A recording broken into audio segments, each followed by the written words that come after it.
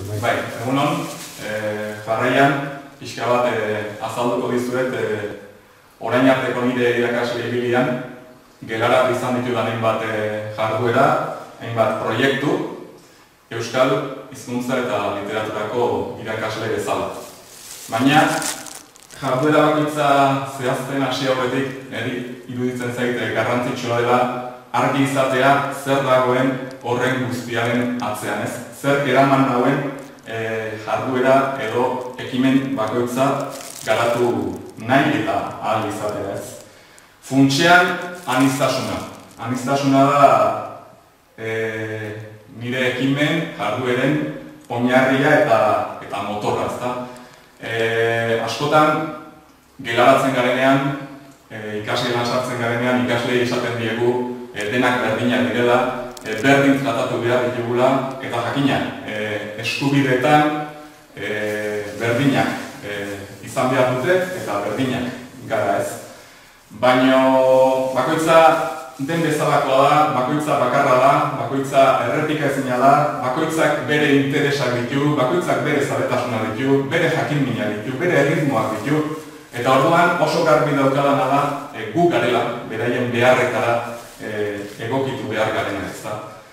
E, ezagutu ikasleak, gertutik, e, ze kezka dituzten, ze behar dituzten, ze ezin tasun dituzten, eta hori izan ez, abiakuntu, mailaz maila egokitzen zaiguna, ematea egokitzen zaiguna, ba egokitzeko ez.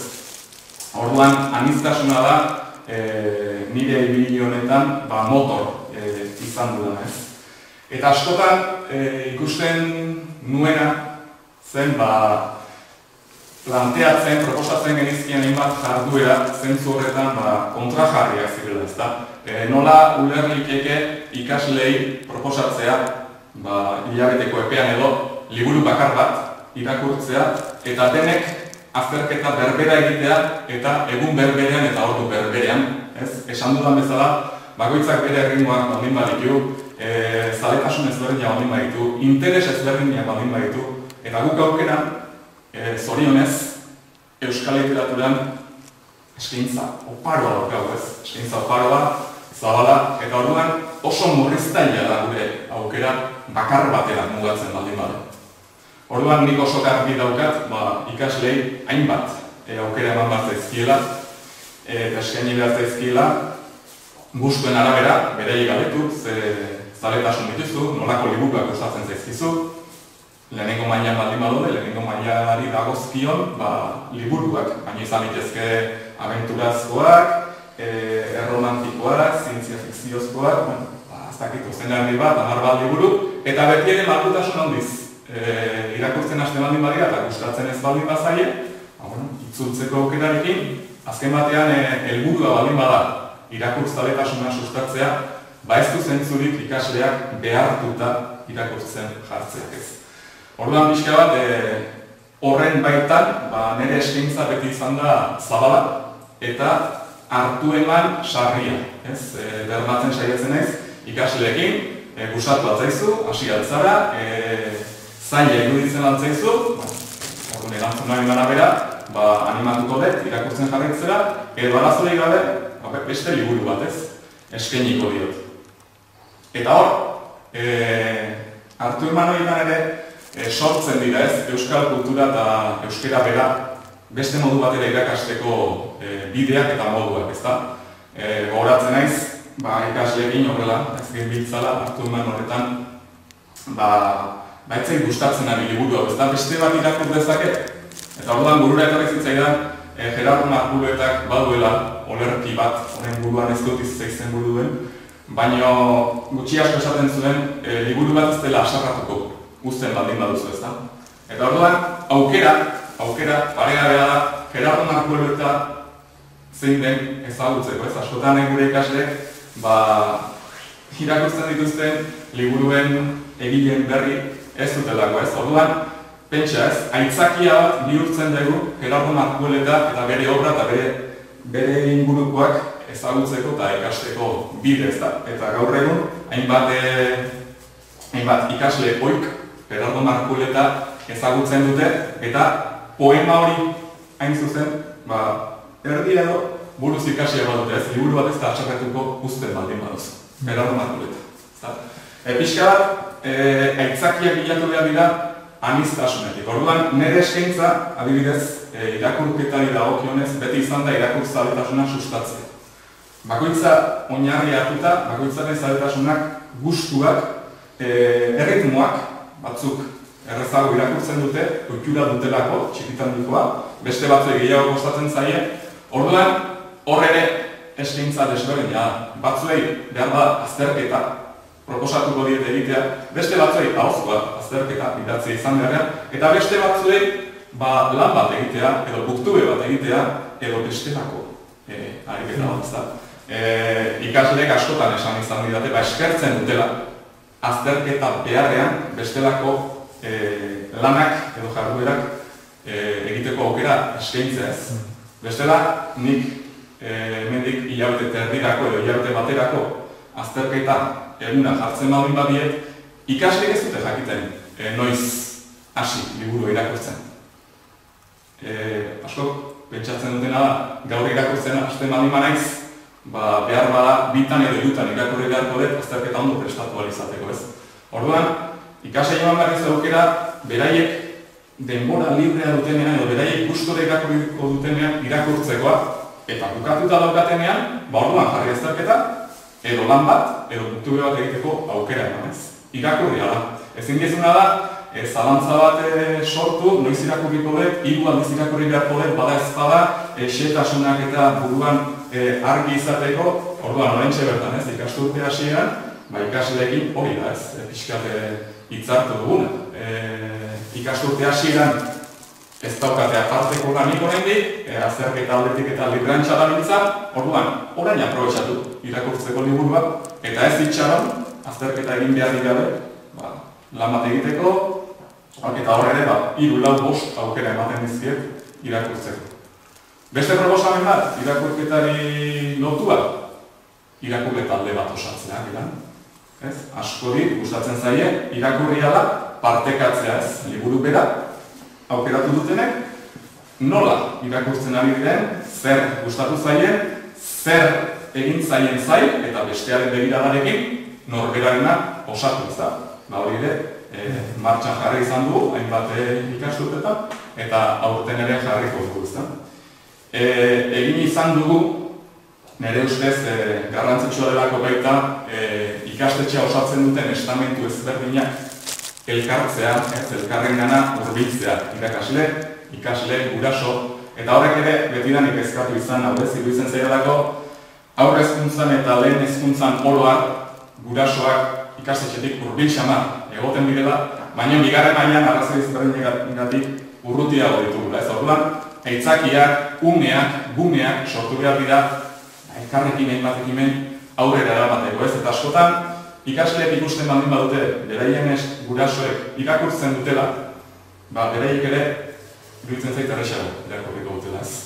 Eta sortu izan ditugu, ba, arratsaldetan hilabetean behin, irakurre taldeak, guraso eta irakasle osatua. Inoiz, batxierroko ikasle batzuk ere, sartu izan dira. Eta hor sortzen den harremana oso oso aberaskarria da. Liburu bere irakurtzen ari dira, e, belanaldi ezberdinetako. E, pertsonak irakurleak dira, momentu berean, ez, elkarrekin interakzioan ari direnak, elkarren begiradak osatzen, eta belamandia ezberdintako ez ezik, ba hori ez, bakoitzak bere funtzioa ikastetxean, ez, batzuk ikasea dira, beste batzuk irakaseak eta beste batzuk gurasoak. Orduan, ikustegia ere ezberdina da, kokagunea ezberdina da, eta elkarrekin osatu egiten dugu ikastetxe bat, ez, ikastetxe bat egiteko modu ba, eraginkorra e, iruditzen zaitez. Bestetik, e, oso argi daukada beste kontu bada, askotan geure buru asko mugatzen dugula. E, eta iruditzen zait, irakasle batek ezkuntzan ez dagoela mungarik. Edo zer gauza e, egin dezakegula, e, edo zer gauza bidera dezakegula, ezin ezkorik apenas dagoela ezkuntzan ez. E, iruditzen zaigu, dena mugatu behar dugula ikaskelara. Baina ikaskela gauza bat eskola beste bat. Ez, ikaskelak izan ditzake, hogeita mar metro kuadro, baina eskolak ez dauka mugarik. Eskola, ati honetatik kanpora ere badago ez. Orduan, gure eduki guztiak, gure emateko guztiak, gure ekimenak, gure jarduerak, iruditzen zaigu dena espazio honetara, une honetara mugatu behar dugula. Eta burua ere horretara jartzen dugu, eta buruak gaitasun ikaragarria dauka. Orduan, e, momentu jakin batean egokitzen baldin bada, deskribapen testuak egitea, ez dauka zentzurik ikaslei e, proposatzeak, deskribatu ezazue zuen herriko parkea. Ikasle batik. Ez ez, zure herriko parkea, hortxe bertan daukazu, bos metroa daukazu. Orduan, balia bide bihurtu ezazu parkea deskribapen eder zehatz eta doi bat egin alizateko. Bertaratu zaitez ikasleekin, eseri eta ikusten dutena papere datu dezatzen. Ezta? Baina askotan, e, mugak ez dauzkagun, berez ez dauden muga horiek geuk jartzen dizkiogu ez, e, geure buruari. Orduan, e, planteamenduak beti dira irekiak, ez da? Bai irteteko, bai sartzeko. E, nik beti irudikatzen dut, nire ikasgela e, aterik gabe eta lehiorik gabe. Nahi duena sartzen da, eta nahi dugunean ateratzen da. Ateratzen da. Beti ere, edukiak ikusita, zein diren, eta egin behar duguna eduki horietara egokituz. E, elkarrizketa testuak e, lantzen ari baldin bagara, berdin. Ezta? Zer ederragorik esateko, ez? zerbait esateko daukan hori, bertaratzea baino. Ez? Ikaskelara ekartzea baino. Ez dezagun irudikatu ez dakit nori elkarrizketa bat egin behar diagula. Aukera baldin badokagu eta aukerak sortu egin behar dira, sortu ditzagun eta ekarrezagun elkarrizketan du nahi dugun hori ikasgelara. Elkarrizketa hori beti izango da askozaz aberasgarriagoa. Zergatik, bizitzen ari garelako. Eta bizitzen duguna beti hor geratzen da. Bizitzen dugunak arrasko utziko digu eta orduan hasiko gara benetan ikasten eta edukiak behar bezala barneratzen. Adibide bat jartzeagatik e, duela bi urte batxilekoko ikaslekin ikase guztiek elkarrizketatu zuten norbait gainerako ikaskiden aurrean. Hau da, hogeita bi, hogeita bi, guraso, elanbide ezberdineko pertsona sartu ziren ikaskelan. Hori ikara garrizko aberastasuna da. Ez elkarrizketa egiten duena nentzat bakarrik. Ikara garriaz, bakoitzak erabakizuelako nori egin elkarrizketa. Eta ezin ez horik ez zegoen, irakaslea, edo irakasleon lagunok, edo inguruko, lagundu genilonako bakoitzari bere elkarrizketatua gelaratzen. Adibidez, gogoan dut, e, ikasetako bat, bertxozalea, eta Julio Sotori egin zion elkarrizketa, ba, Nafarrako txapendun izan berritan edo. Ba, bere ilusioa izango, izango zen e, Julio Sotori elkarrizketa egite. Bueno, ba, nahiko errezak geneukan, ba, nik Julio Sotorekin harremana badu badako. Orduan, berarekin hitzartu, eta ondo zetorkion egun batean gelara ekarri genuen, jakina, aurrez ikasleek edo ikasleak kasu hortan e, elkarrizketa ondo landuta eta denen aurrean denek izan zuten Julio Sotorekin izan dako elkarrizketa hori bizitzeko eta gozatzeko aukera. Eta horrela beste egin bat, ez da? E, beste batek bere aizpa adoptatuari egin zion elkarrizketa, ez da? Eta zer ederra hori, ez da? Ba, klase hartan bakarra zen, ez? Senide adoptatu bat zuena, bizipen horiek kontatu, nola bizi izan zuen, e, non bizi izan zen, ze egoratan bizi izan zen, hemen ze aurkitu zuen, nola egokitu den izarte berrira, hizkuntza berrira, bizimodu berrira. Elkarrizkate bat egiten ari da, baina guztiak ari dira, azken batean, hogeita bi elkarrizketa unean insitu gozatzen. E, minbizia genditu berri zuen ikasle baten amari elkarrizketa e, paperik gabeko pertsona bati elkarrezketa, e, kirolari bati lehen mailan jokatzen zuen osasunako e, futbolari bati elkarrezketa. Orduan azken batean da bizitza gelaratzea. Ezta? Bizitza gelaratzea. Ez irudikatzea. Irudikatu zazu, pentsa ezazu elkarrezketa egin behar ez da gizen. Hor jale gara urruntzen. E, gure interesetatik, gure barne jakin minetik urruntzen. Zuzenean bizidenak beste indar bat hartzen du ez. Eta hori posible da. Edo larogeita hamar urteko ikasle batek bere larogeita hamar urteko amonari egindako elkarrizketa, da? Ultzamakoa bera, eta ikaragarrizko aberastasuna, jarioa, erraztasuna izketarako, baina aldi berean euskalki bat sartzen du. Claro, e, jardueraren helburua elkarrizketa testua lantzea zen.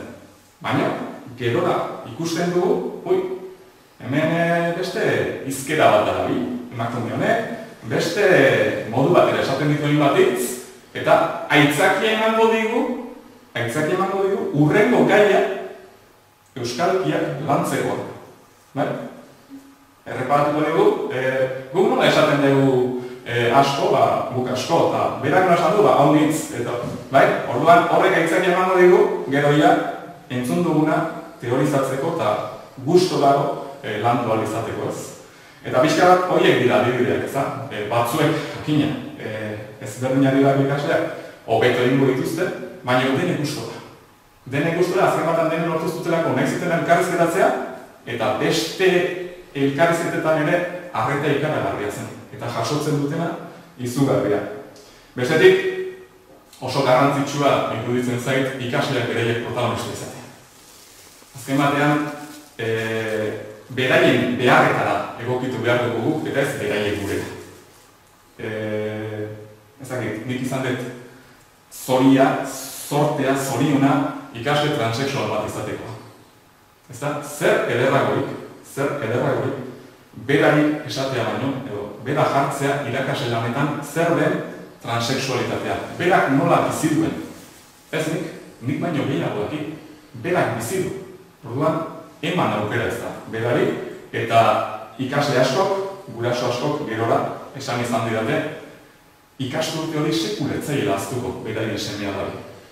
Behar da aztuko zaila, e, aditz eta aztuko zaizkila.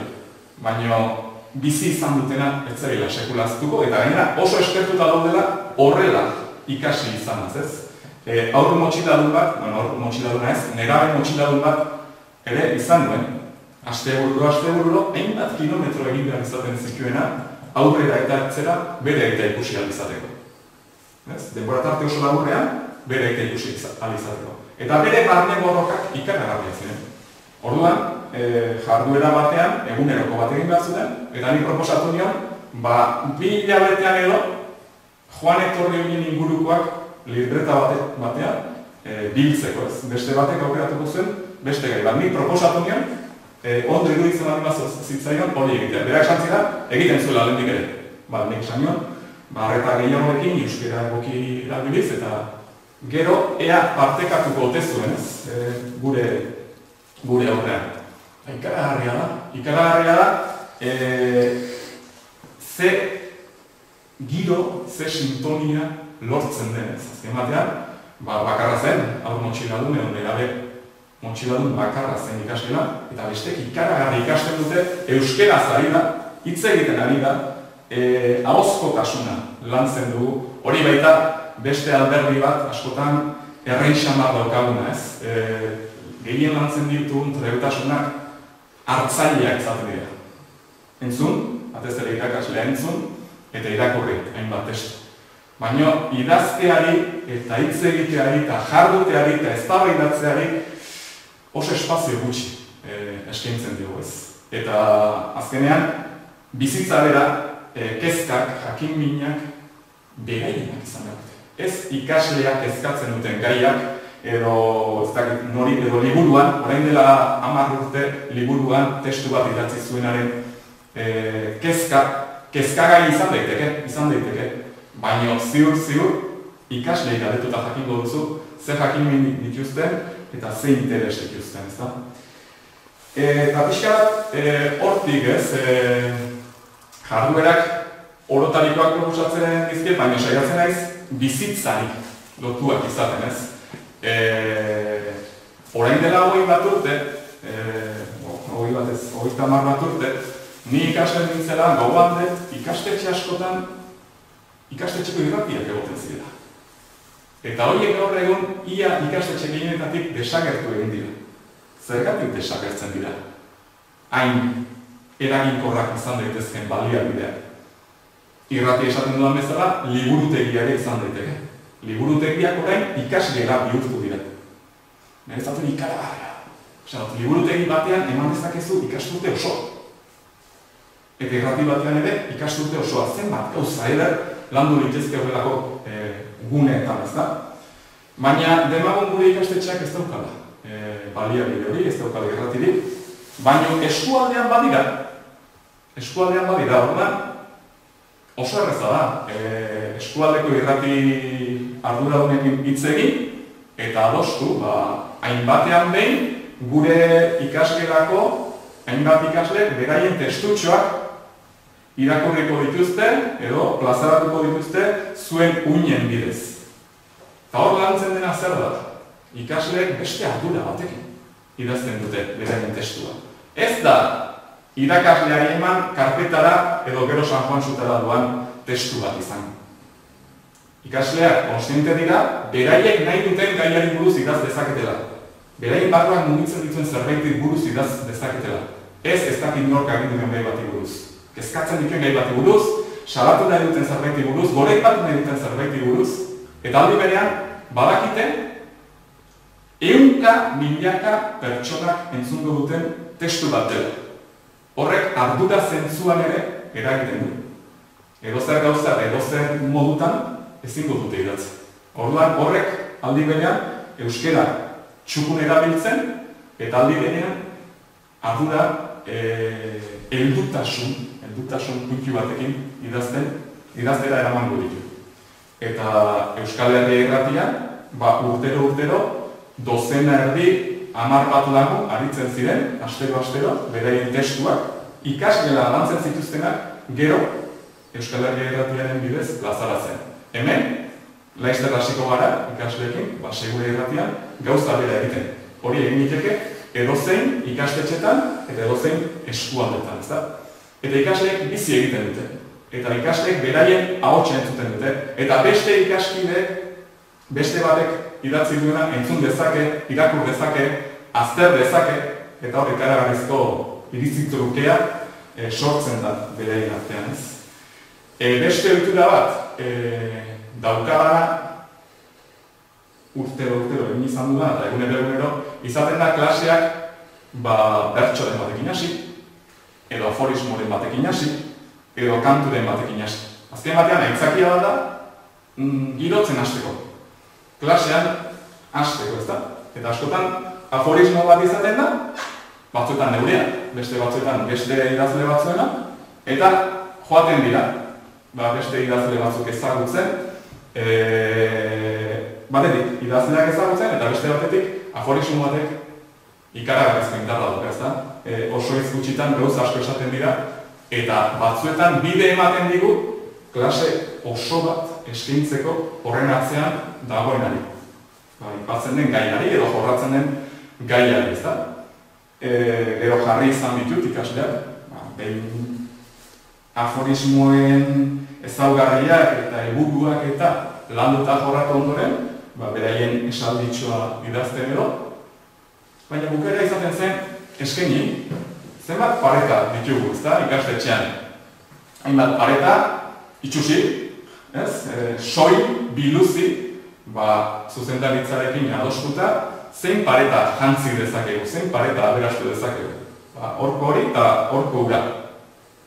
Ikasleak rakitenean, beraien esaldiren bat, iezkortu dezakegula institutuan, inbat urtez beste modu bat ere bizi egiten dute. Eta horietako asko, ikasle asko, gaur egun, gaur egun, ja lanean ari direla, ba, bisitan joaten direnean, beraiek ikasle izan zen institutura, ikusten dute beraien, beraien testuak hor daudela, ezta? Iezkortuta. Eta horrek beste, beste bizitasun bat ematen du. E orduan ikusten duzuen bezala pixkala mugari gabeko eskola. E, beste ekimen bat oso polita jarri genuena, izan zen, Nafarroan mintzalagun mintzalago lehen esan dudan bildotik. Guraso, ikasle eta guraso, eta, eta ikasle.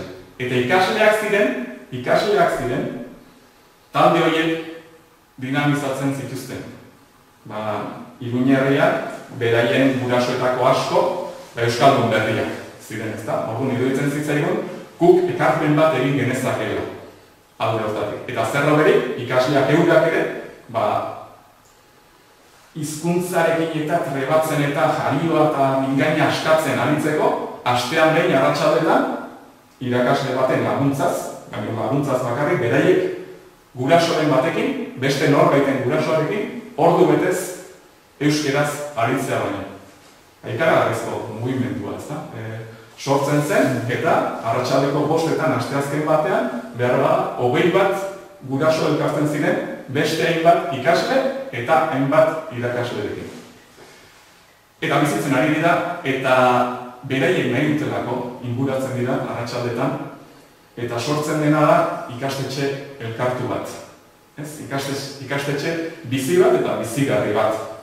Eta hortik sortzen dira, ba, bueno, horrelako liburuak, liburu adibidez, gaztelaniaz idatzia da. Bai? E, baina oso kurioso izan zen. Ni iraia izango zen, bigarren astea edo, Eta ikusi non ikasle bat niri kaso egin beharrean e, mailan idazten ari zela. Eta, bueno, urbitu nintzaionean, esan egin, hau zer da? Bueno, borratuko denek, ba, ez ez ez, borratu ez, borratu. E, irakur egin nahi ez idatzi ez da. Oso oso esaldi eta poema ederrak daude. Eta hemen, izenik jartzen ez duten hauek zer dira, zureak dira, eta bai nireak dira. Ba, idazten ez dut, bai gaztela miaz batez ere, pasatuko batzen ez dirake irakurtzeko. Hauren, ba hemen dauden, liburu honetan dauden, hainbat olerki. E, pasatu zizkidan, urrengo egunean bertan, eta nire lehenengo egiteko izan zen, garbitzaile izatea mesedez, e, mailura ez garbitzeko. E, ez garbitzeko, han baltxor bat zegoela, eta hortik tiraka gauza eder asko e, sor genitzak ez. E, neska honek, amabost urterekin, lortu zuen liburu bat, argitaretxe batek argitaratzen, gaztelaniaz. Baina, euskerako irakasle bezala, e, animatzen nuen, gaztelaniaz ez ezik, nik animatzen nuen gaztelaniaz idazten jarretzela, oso abdasgarria delako, Baina, aldi berean, saiatzeko euskeraz ere antzeko zerbait egiten. Ez? Poesia, gustatzen zitzen ez, poesia ere idazten iruditeria aberatsa zuelako, eta iruditeria aberatsa duenak hizkuntza batean bestean ere izaten du, normalen. Eta ala lortu zuen, ba, hainbat, e, Euskal Herri mailako hainbat e, lehiaketa euskeraz e, irabaztea, euskeraz idatziz, Eta gero da, hainbat errezitaldi ematea eta gaur egun bi hizkuntzetan ikaragarri ondo ez. E, idazten du eta publikatzen dizkiote hainbat, hainbat liburu. E, bukatzeko, esan hori, e, irakasle batek ikasleen gandik oso oso gertu egon behar duela. Jakin behar duela ikasleak nola dauden, e, ze kezka dituzten, zer egitea gustatuko ditzaien. Beira, eman beharreko edukiak hauek dira, e, baina honen interesa hau da, honen hau, honek hau egin nahiko luke, e, gogoan dut, oain dela sei bat urte, ikasek esan zietela, koreografia bat egin nahi du, Euskadi gazteako lehiaketa batera. Lagunduko diguzu, lagun, bai, lagunduko izu. Eta aprobetsatzen baldin badego koreografia hori klasean egiten ari garen zerbaitekin lotzeko. Eta azkenean egin zutena izan zen, e, izarren hautsa, izarren hautsa kantuan oinarrituta, hainbat pauso, orduan, klasean, izarren hautsa kantua aztertu genuen, nork idatzia zen, nork kantatzen duen, bertsio ezberdinak, iztegi atera, eta gero, beraiek koreografia bat lotu, e, gorputz ezkuntzako klaseetan, hori grabatu, eta lehiaketara bidatu. Ez dago esan beharrik, hasi eta buka, ez, tarte horretan guztian ikaslei nola bizi izan zuten proiektu bera. Eta ez dago esan beharrik zenbat gauza ikasi zituzten bidean, ez da, euskarari lotuak. Baina abia puntuan nun dago, beraiek egin nahi zutela euskari gazteara bidaltzeko koreografia bat. Orduan, e, irakasle batek nire ustez, edo ni nintza saiatzen naiz, malgua izaten. Bai, nik badakit, gaur, edo bihar, zer eman behar dudan, ez? Zer eduki eman behar dudan. Baina irikita egon behar naiz, e, ikasleek proposa diezadek etenera. e, ikaslea nola dago, besteak nola daude, zer egitea gustatuko litzaieke, bale, orduan, hau eman bat dudana, hau egitea gustatuko litzaieke, egokitu dezaket, saiatuko niz egokitzen. Zertarako, bai ikasleak eta bai nik zorion izan. Eta ikasgela, eskola bera, bizia eta bizigarria izan. Eta helburua hori izan da.